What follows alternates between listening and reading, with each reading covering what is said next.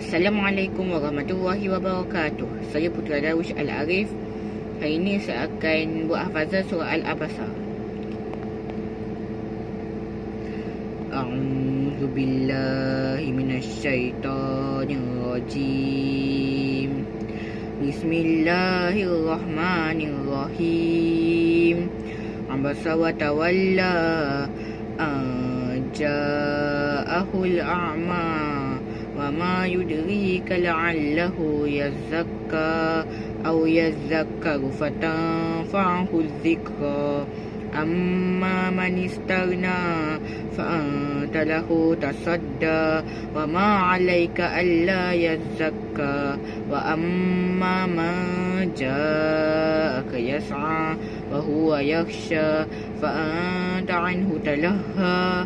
كلا إنها تذكرة فمن شاء ذكره في صحف مكرمة مرفوعة مطهرة بأيدي سفرة كرام بررة قتل الإنسان ما أكفره من أي شيء خلقه من نطفة خلقه فقدره ثم السبيل يسره ثم أماته فأكبره Summa iza sya'ansyara Kalla lamma yakdima amara Falyansuril insadu ila tu'ami Anna sababnal ma'asabba ثم شققنا الأرض شقا فأنبتنا فيها حبا وعنبا وقدبا وزيتونا ونخلا وحدائق غلبا وفاكهة وأبا متاعا لكم ولأنعامكم فإذا جاءت الصاخة